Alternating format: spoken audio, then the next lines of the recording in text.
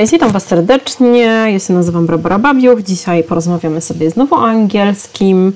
I dzisiaj, słuchajcie, przychodzę do Was z prezentem. Może nie jest jakiś tam. Um, tak, to jest prezent idealny.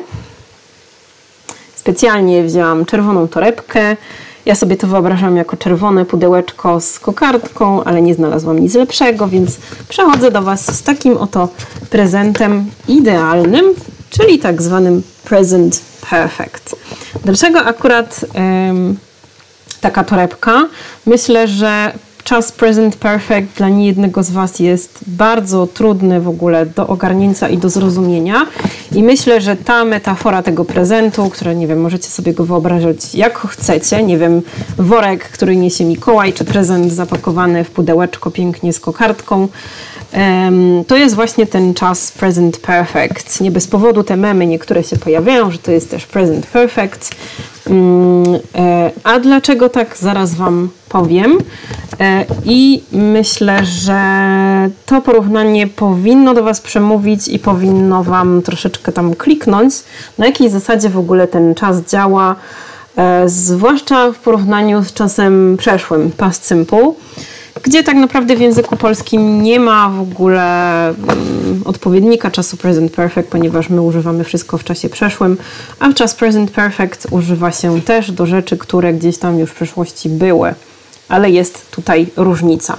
No więc tak, o co chodzi w tym naszym idealnym prezencie? No więc jeżeli jest prezent, to coś tam w środku musi być. Ja tutaj mam coś. Yy, moim prezencie. Więc tak, tutaj są karteczki, na których napisałam pewne czynności. I to są czynności, które są tutaj, które one są w tym prezencie, w torebce. Są też czynności, których w tej torebce nie ma.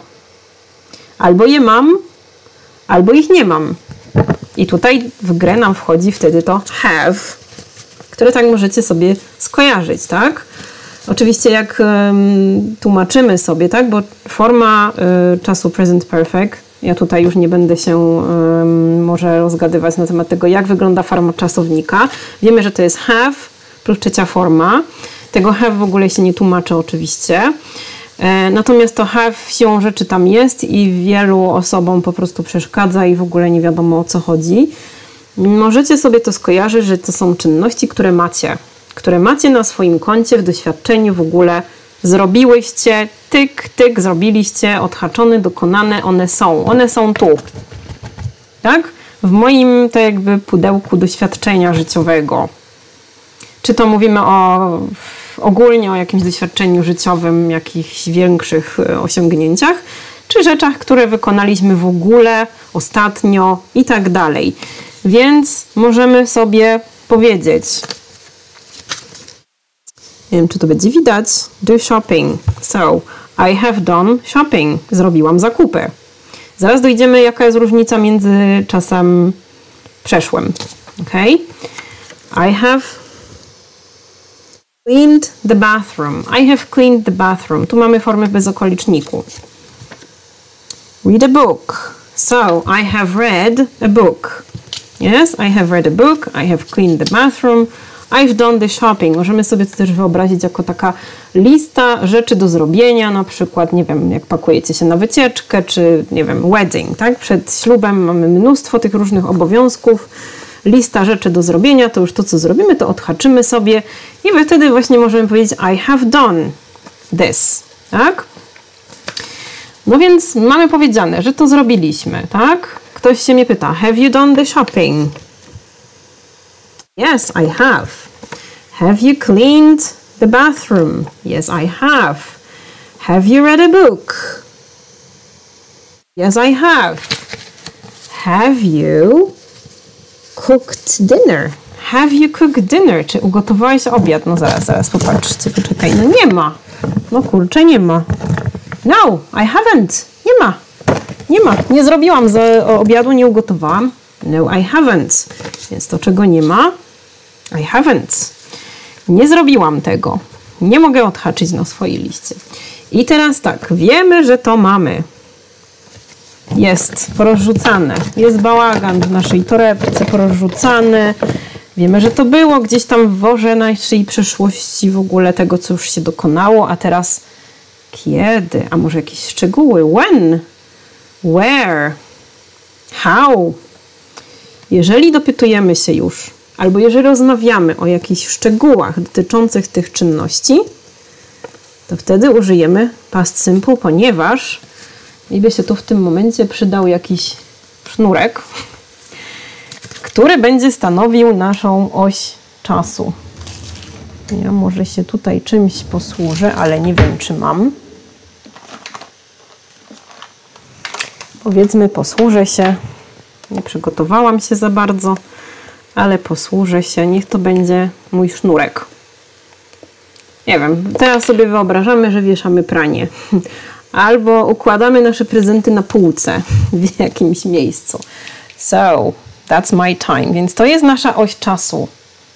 Jeżeli podajemy już jakieś szczegóły dotyczące tego, co robiłyśmy, robiliśmy, przepraszam, bo to nie tylko kobiety. Nie mam tu żadnych spinaczy, też się znowu nie przygotowałam, ale coś może, się, może sobie nie zniszczy mojego kabla. Tak, jeżeli już umiejscawiamy sobie na osi czasu, ja Wam zaraz tu pokażę, to będzie takie trochę dosyć prowizoryczne, tak żeby nie zniszczyć mojego kabelka, bo jednak używam moich słuchawek, to, dobra, nie tak, hmm, ok, to nie jest może dobre, hmm, hmm, hmm. powiedzmy, że tak, ok, to się nie będzie trzymało. Jeżeli już umiejscawiamy, dajcie mi chwilę, bo to się nagrywa jednak, a, a nie chcę niczego zepsuć. Dobra, wyobraźmy sobie coś takiego, prawda? To wygląda może niezbyt tak, y, no ale dobra, powiedzmy, umiejscawiamy to już na osi czasu, tak? Podajemy jakieś szczegóły. Um, have you read a book? Yes, I have. What book did you read? Or when did you read? Kiedy ją przeczytałeś? How did you like it? Jak Ci się podobała? Wiemy, że to już było gdzieś tam w tym worze przeszłości, to już jest przeszłość. Więc jeżeli podajemy więcej szczegółów, pytamy się o więcej szczegółów, używamy czasu past simple, ok? Ponieważ wtedy już tak jakby wyciągamy z wora to pranie i wieszamy na sznurku. Gdzieś, ono już istnieje na naszej osi czasu. Mm, tu mamy co? Clean the bathroom. You clean the bathroom. Yes, I have. Did you like it? czy ci się podobało? Nie wiem, czy mycie łazienki to jest fajna rzecz. When did you clean it? I cleaned it today, albo yesterday, last week, tak? W zeszłym tygodniu. I ja tu nie będę może już maltretować mojego kabelka, ale to się tyczy wszystkich czynności, które wyrażacie w czasie present perfect i później chcecie coś więcej o nich powiedzieć. Tak więc, jeżeli już pytamy o jakieś szczegóły, jeżeli w ogóle podajemy, kiedy coś się wydarzyło, miejscowiamy na osi czasu, wieszamy to nasze pranie, to wtedy używamy past simple. I teraz tutaj ja chciałam z Wami zrobić takie jedno ćwiczenie, które notabene jest z książki takiej English File. Jest to super genialna seria książek, z której ja korzystam i z której e, uczę moich klientów. To są różne poziomy. To akurat mamy poziom, nie wiem, intermediate, więc to będzie jedno ćwiczenie, które wybrałam z tej książki, które też robię z moimi uczniami, klientami. Więc zerknijcie sobie na to ćwiczenie. E, I teraz tak, to jest typowo takie ćwiczenie gramatyczne rozmawiają sobie, prawda? Mm, para jest pan i pani. Oni się nazywają David i Kate. Ja może sobie trochę to powiększę. Tak się upewnię, że widzicie. Mamy użycie właśnie present perfect i past simple. Musimy czasowniki dać w odpowiedniej formie. David, I haven't seen those shoes before. Are they new? Nie widziałem tych butów jeszcze, tak? Widzimy ten worek z prezentami. tak? Nie widziałem. Stwierdzamy w ogóle, że coś albo istniało, albo nie istniało, było albo nie było. Kate, yes, I have just bought them. Do you like them? Tak, właśnie je kupiłam. Jeżeli używamy just, to będzie present perfect i to jest na, na bank, tutaj nie ma już innej żadnej opcji. Tutaj ta pani zresztą mówi, że właśnie je kupiła, tak? Um, okay, they're okay. How much did they cost? How much did they cost? Czyli tutaj już przechodzimy do wieszania prania, jak ja to nazwałam, tak? Czyli dopytujemy się o jakieś szczegóły, czy rozmawiamy już o jakichś szczegółach, wiemy, że ta czynność w ogóle zaistniała w, przeszłości, wyciągnęłaś ją z worka, powiesiłeś na osi czasu, ona tam gdzieś jest. Nawet jeżeli tu nie jest wspomniane, kiedy to było, wiemy, że to było i że to już jest część przeszłości, więc past simple. Oh, not much. They were a bargain. Under 100. Czyli, że to była okazja. Tak? Dodajemy znowu past simple. Did you mean 99.99? That isn't cheap for a pair of shoes. Anyway, we can't afford to buy new shoes, new clothes at the moment. Why not? To może nie będę tego tłumaczyć. Yy, tak, pan mówi, że nie możemy sobie pozwolić na yy, kolejne nowe ubrania. Dlaczego? Have you seen this? Tak, i znowu mamy pytanie. Czy, tak, widziałaś? W ogóle, czy widziałaś to? No, what is it? A co to takiego? Our phone bill. It arrived this morning, czyli teraz już przechodzimy do szczegółów tej czynności. Zresztą mamy już umiejscowienie w czasie, bo this morning, czyli wiemy, kiedy to się wydarzyło. Jeżeli w zdaniu jest w ogóle wspomniane, kiedy to się wydarzyło, nie możemy użyć present perfect. It arrived, czyli mamy past simple. Mm and we haven't paid the insurance yet. Tutaj mamy yet na końcu, jeżeli coś kojarzycie z czasu present perfect, wiecie z jakimi zwrotami się używa czas present perfect, na przykład just, na przykład yet, already, tak samo, zresztą zaraz poniżej sobie zobaczycie. E, więc I, we haven't paid the insurance yet, czyli jeszcze nie wykonaliśmy tej czynności, nie zapłaciliśmy za ubezpieczenie. Well, mówi pani. What about the iPad you bought last week? Last week mamy, więc będzie past simple. To z tym iPadem, który kupiłaś w zeszłym tygodniu. What about it? No, co z nim nie tak? You didn't need a new one. Tak, używamy, bo odnosimy się już do tej czynności, co była last week, wtedy kupiłeś, więc tu też będzie past simple. You didn't need, nie potrzebowałeś. The old one worked perfectly well.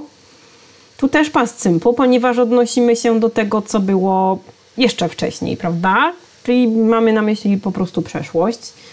Mm, nie ma potrzeby używać tu present perfect. But I needed the new model. Potrzebowałem. Well, I needed some new shoes. A ja potrzebowałam buty.